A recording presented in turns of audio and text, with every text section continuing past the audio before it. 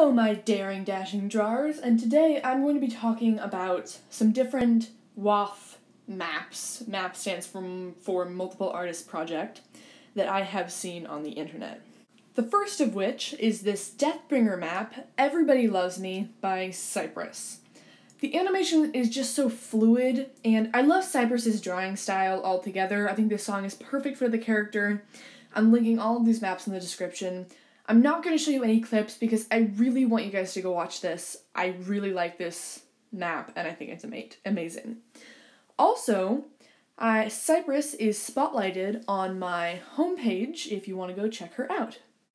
The next one of my favorites, and these are all listed in the order that I like them, although I have to say these first two are pretty close, is Dragon Sheets, Dragon Sheets, oof, Dragon Sheeps fashion meme.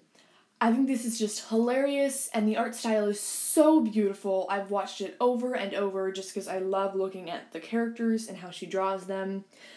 Again, I'm not going to show it to you because I really want you to go watch it. It's short, it won't take up much of your time, and here is a sneak peek of her drawing of Sundew. I just love her art style, especially these ones, because oh my gosh, those outfits are just so Next is this playing with fire one about Peril, and I definitely think that I'm not as impressed by the animation style.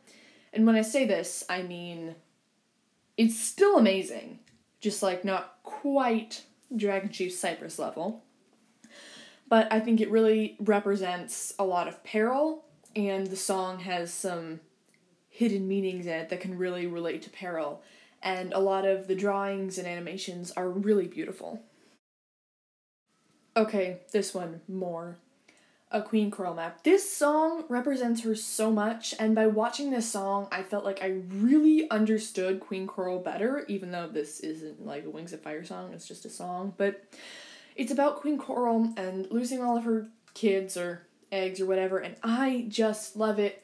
It made me cry the first two times I watched it, okay, people? It's that good, so go watch it after this video. Also, quite a few artists worked on this more map, but 90% of them were just beautifully animated. I love the transitions. It is heartfelt and stunningly beautiful. This next one definitely covers a few characters, and I'm not as impressed with the animation style. It is still beautiful.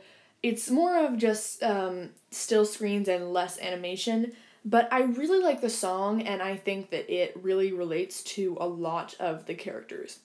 Speaking of relating to the characters, Running with the Wolves. I love this. I think the song fits the characters.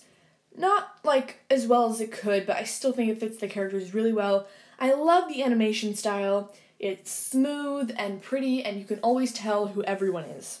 I called it pretty just there because I think I've used the word beautiful like a bajillion times, but it is stunning.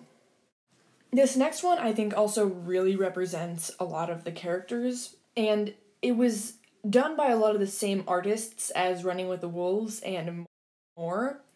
And I really think that it is quite beautiful and really fits a lot of the characters. Again, these are just some of my favorites. These are not by any means the best ones out there. And all of these are linked in the description below. Please watch them all. They're beautifully animated and amazing, and I love them. Also, hit the like and subscribe button if you like this video. It's kind of like the point of the button.